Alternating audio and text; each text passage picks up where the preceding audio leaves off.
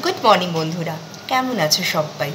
আজকে second of May মনের school মানে school in the sense of মনের অনলাইন ক্লাস তো চটপট করে সকালবেলা উঠে পড়েছি, যদিও কালকে রাত্রেবেলা খুব একটা ঘুম হয়নি। বিকজ কালকে প্রায় দেড়টা নাগাদ বাবাই ফিরেছে। তো বুঝতেই পারছ, তারপর তো আর ঘুম হয় না। তো ঘুম হয়নি। আর আজকেও সকাল সকাল উঠতে হয়েছে। কারণ যেহেতু বাড়ির সমস্ত কাজ ছিল প্লাস সকালে জল খাবার খেয়ে বাবাই আবার বেরিয়ে যাবে, ওদের কলকাতার অফিসে যাবে। সেখান থেকে বেশ কিছু ল্যাপটপ তারপরে ওদের বাদ বাকি কিছু জিনিসপত্র কালেক্ট করার জন্য অফিসিয়াল জিনিসপত্র কালেক্ট করার জন্য। তো তাই সকাল সকাল খুব বেশি জলখাবারের না বানিয়ে একটু হালকা ফুলকা বানানোর জন্য ভাবলাম কি বানাবো। তাই আলু জিরা করছি, আর তার সাথে হচ্ছে গরম গরম রুটি, কারণ মনের ক্লাস শুরু হবে দশটা থেকে। আমারও আবার অফিস আছে, তো সবটা ম্যানেজ করার জন্য জল খাবারে আর খুব বেশি ঝামেলা করিনি, তাই জন্য আজকে একটু হালকা ফুলকা জল খাবার হবে। তো তোমাদের সাথে এই আলু জিরার রেসিপিটা শেয়ার করছি। তোমরা চাইলে বাড়িতে বানাতে পারো। এটা রুটি বা পরোটার সাথে কিন্তু ভীষণ ভালো লাগবে।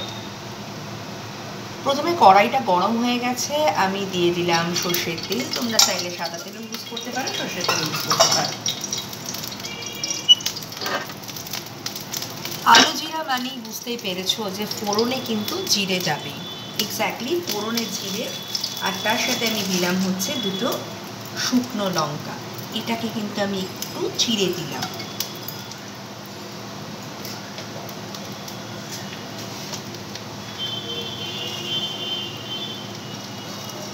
আমার কিন্তু আলু জিরা খেতে ভীষণ ভালো লাগে। কাদের কাদের আলু জিরা খেতে ভালো লাগে বা কেউ তোমরা এর আগে ট্রাই করেছ কি না আমাকে জানিও। আর যারা ট্রাই করোনি, তারা অবশ্যই কিন্তু জলখাবারে আলু জিরা বানাতে পারো।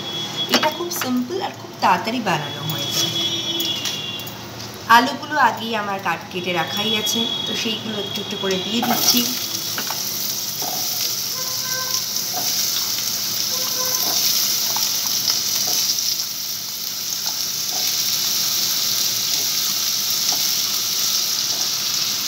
আলু আর টমেটোটা আমি একসাথেই দিয়ে দিলাম। তাহলে কিন্তু কালারটা বেশ ভালো হবে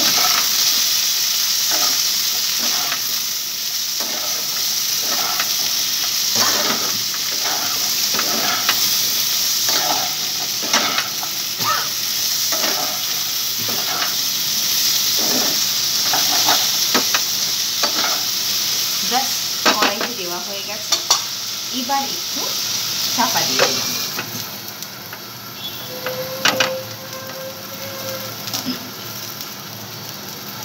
কালকে রাত্রেবেলা বাবাই এলো যখন, তখন জিজ্ঞেস করলাম যে কিছু খাবে কি না তো যথারীতি ও যেহেতু ফ্লাইটে খেয়েই এসেছিল, আর কিছু খেলো না।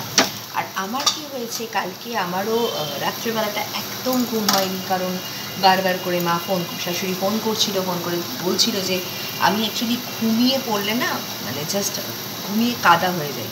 তো সেই জন্য মা বারবার অ্যালার্ট করার জন্য বারবার ফোন করছিল। তো সেই কারণের জন্য আগেও ঘুম হয়নি আর আমি দুপুরে ঘুমোই না বিকজ আমার অফিস ওয়ার্ক থাকে। আর রাত্রেও সেভাবে ঘুমোনো হয়নি। আর সকাল থেকেই আজকে উঠেই ভাবছি যে, মনের অনলাইন ক্লাস কালকে অলরেডি টিচাররা সমস্ত লিঙ্ক পাঠিয়ে দিয়েছে এবং লিঙ্কে আমরা জয়েন করেও গেছি। তো আজকে যেহেতু দশটা থেকে ওদের অনলাইন ক্লাস ওদের দু ঘণ্টার অনলাইন ক্লাস দশটা থেকে বারোটা। তো এই সময়টা অ্যালার্ট থাকতেই হবে। কারণ ওদের টিচাররা কি করে, আমি এর আগে লকডাউনের সময় দেখেছিলাম, পড়াগুলো অনলাইনে দেয় আর সঙ্গে সঙ্গে আনসার চায়। সো প্রিপেয়ার থাকতে হয় অ্যালার্ট থাকতে হয় আনসারগুলো সঙ্গে সঙ্গে করে জন্য ডাকা তুলে একবার একটু দেখে নিও, আরেকবার একটুখানি নাড়াচাড়া করে নিও। আলু চিটার মধ্যে কিন্তু মশলাপাতি খুব একটা বেশি কিছু পড়ে না। আজকে দুপুরবেলা কি রান্না করব সেটাও ভাবছিলাম। তো আগে থেকেই আমার একটা প্ল্যানিং হয়েই যায়। মোটামুটি রাত্রেবেলায় একটা প্ল্যানিং সেট করে রাখি যে পরের দিন দুপুরবেলা কি বানানো যায়। বিকজ বাবি খুব ফুডি তো ও কলকাতাতে এলেই চেষ্টা করি একটু অন্যরকম কিছু বানিয়ে দেওয়ার। তো আজকে দুপুরবেলা ভেবেছিলাম ফ্রাইড রাইস করব, তো যথারীতি ওর অফিস যাওয়া আছে বিকজ ও এসেই কালকে রাত্রেবেলায় বলেছে যে আজকে অফিস যাবে। তো সেই কারণে বোধ হয় ফ্রাইড রাইস বানানো হবে না। তো দেখা যাক যদি ওকে অফিস যেতেই হয়, তো ও এসে লাঞ্চ করবে। তো তখন সেই বুঝে একটা কিছু ভেবে নেব। আর তাছাড়াও তো আজকে বিকেলবেলা অলমোস্ট আমরা বোধ হয় মায়ের কাছে যাব, বাবাকে দেখার দেখতে তো আমরা আরবানা যাব আরবানা যেতেই হবে আমাদের? বাবাকে দেখার জন্য। বাবার শরীরটা আবার খারাপ করেছে কালকেও গ্রিপ করেছে, তো সেইটাই আর কি শাশুড়ির সাথে কথা বলছিলাম। তো বলল, তোরা যদি আসিস, আমাকে জানাস। তো দেখা যাক, সবটাই আর কি মাকে বললাম যে তোমার ছেলের রুটিনের উপর ডিপেন্ড করছে সব।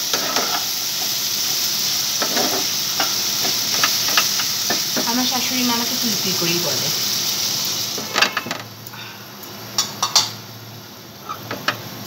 তো এদিকে আলু জিরাটা আমি বসিয়ে দিয়েছি। মন এখনও ঘুম থেকে ওঠেনি।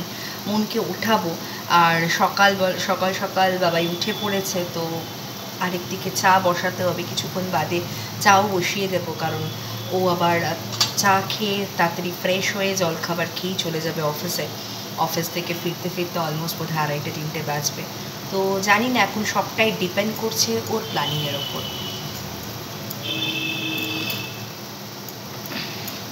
কালকে যে টপিকটা নিয়ে তোমাদেরকে বলছিলাম যে টাইম ম্যানেজমেন্ট তো সত্যি কথা বলতে না, আমরা যারা ওয়ার্কিং তাদেরকে কিন্তু সব কিছু ব্যালেন্স করতে হয়। মানে একদিকে অফিসের কাজ একদিকে বাড়ির কাজ প্লাস যদি একটা তোমার ছোট বাচ্চা থাকে, আর মানে ছোটো বাচ্চা আমি কারণের জন্যই স্পেসিফিক্যালি বলছি, কারণ বা, ছোটো হলে বাচ্চারা যদি ছোট হয় তারা তো নিজের কাজটুকু সবটা করে উঠতে পারে না না? সেই কারণের জন্য বাবা মাকে কিন্তু অলওয়েজ ইনভলভ থাকতে হয়। এই যেরকম ধরো মন যদি একটু বড় হতো, তাহলে মন নিজেই অনলাইন ক্লাসটা সেটেল করতে পারতো। কিন্তু যেহেতু ছোট, তো সেই কারণের জন্য করতে পারবে না। তাই জন্য আমাকে বসে থাকতে হবে। ওই, ও একদিকে অনলাইন ক্লাস করবে আর একদিকে আমি অফিসের কাজগুলো করব তাই জন্যই তাড়াতাড়ি করে জল খাবারটা সেরে নিচ্ছি। আমার আটা মাখা হয়েও গেছে। শুধু আলু জিরাটা হবে আর গরম গরম রুটি বানাবো, ব্যাস। হয়ে যাবে আমাদের সকালে জল খাবার।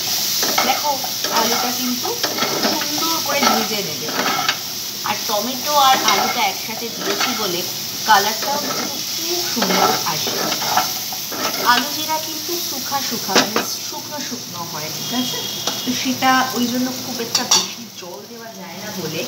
যখন তুমি আলু আর টমেটোটা ভাজছো, তখনই চেষ্টা কর মানে করতে হবে আর কি, যাতে করে আলুটা সিদ্ধ হয়ে যায়।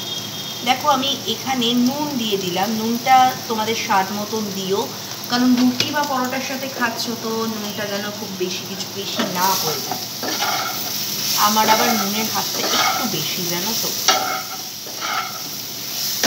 তো নুনটা দিয়ে আবার একটুখানি নাড়াচাড়া করবে, করে আবার চেষ্টা করবে ঢাকা দিয়ে রাখা এই রান্নাটা কিন্তু একটু ঢাকা দিয়ে করতে হয়।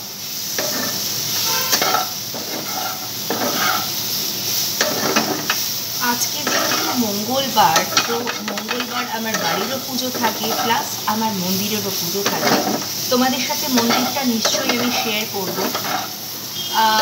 তো মন্দিরটা আশা করি তোমাদের খুব ভালো লাগবে। আমার ছাদের ওপরই চিলেকোঠাতেই মন্দিরটা রয়েছে, তো তোমাদের সাথে আমি নেক্সট কোনো দিন ডেফিনেটলি শেয়ার করব। তো সেখানেও পূজারি চলে আসবে। তো তার জন্য ফুলটা আবার আলাদা করে সরিয়ে রেখেছি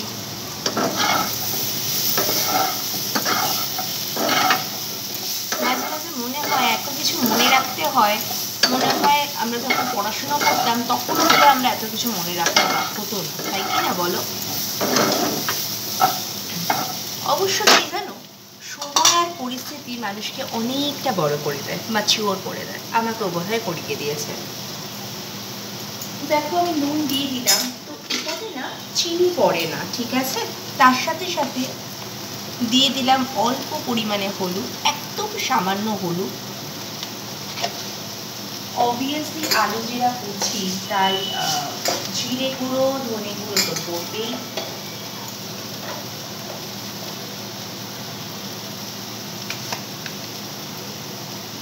দিয়ে দিলাম ধনে গুঁড়ো।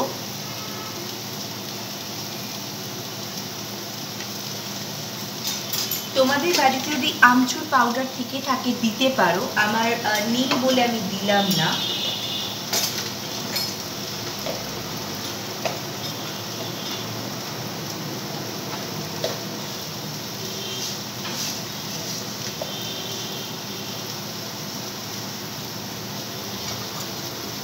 মশলাগুলো দিয়ে আবার একটু ভালো করে নাড়ানো চালানো করে নেবে, যাতে করে মশলাগুলো আলুর সাথে পুরোপুরি লেগে যায়। কারণ আলু, আলুর সাথে মশলাগুলো যদি পুরোপুরি লেগে যায়, তাহলে কিন্তু আলুর মধ্যে মশলাগুলো ঢুকে সুন্দর টেস্ট নেয়।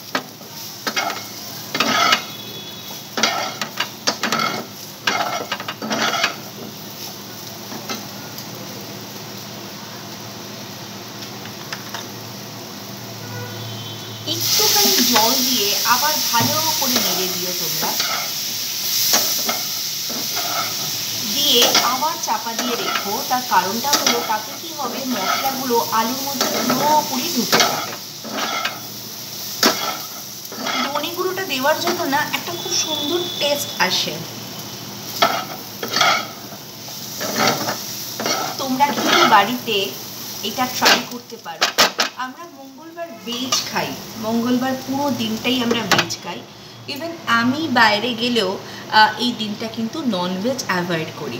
যদিও আমি ননভেজ খুব একটা পছন্দ করি না। তো আমাকে মানে আমি মাটন বা চিকেন একদমই খাই না। খেলেও মাছ এবং ডিমটা খাই। তো আমি মঙ্গলবার আমি একদমই বাইরে গেলেও ননভেজ অ্যাভয়েড করি। আমি ভেজটাই খাই। আর বাড়িতেও আমাদের ভেজ হয়।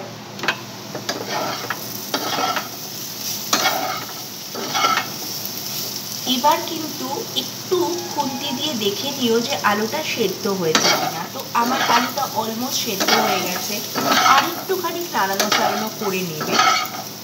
তোমাদেরকে প্রথমেই বললাম, আলু জিরা কিন্তু শুকনো শুকনো হয়, তাই জন্য চেষ্টা করবে এই সময় যেন যখন তুমি আলুটাকে ভাজছো তখনই যেন সেটা তেলের মধ্যেই সিদ্ধ হয়ে যায়। এইভাবেই কিন্তু চাপা দিয়ে রান্না করার চেষ্টা করবে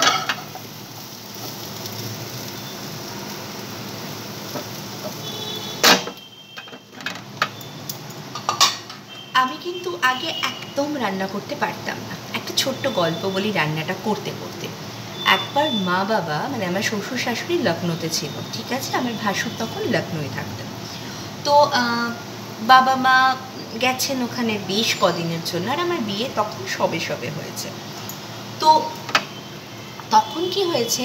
তো তখন সুপ্রিয় মানে বাবাই যেহেতু প্রোডাকশন হাউসে ছিল, তো বাড়িতে ফিরতে ফিরতে অনেক রাত হতো মানে অলমোস্ট ধরে রাখো প্রায় সাড়ে বারোটা, একটা হতো। তো এবারে সেই সময় একটা ইভেন্টও চলছিল, আমার ঠিক মনে নেই কি ইভেন্টটা তো সেই কারণের জন্য ওর দেরি হতো। তো আমি আমাকে আর কি শাশুড়ি মা জিজ্ঞেস করলেন যে হ্যাঁ তুই পারবি তো?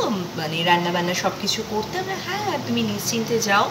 আমিও তখন পড়াশুনো করছিলাম। তো আমি সেই সেই সময় প্রবাবলি এমনিতে বোধহয় ভর্তি হয়েছিলাম। তো আমি বললাম হ্যাঁ হ্যাঁ আমি, তোমরা যাও, আমার কোনো অসুবিধা নেই, সবটা করে নিতে পারব। খুব কনফিডেন্টলি বলেছিলাম। তো তারপরে কি হলো?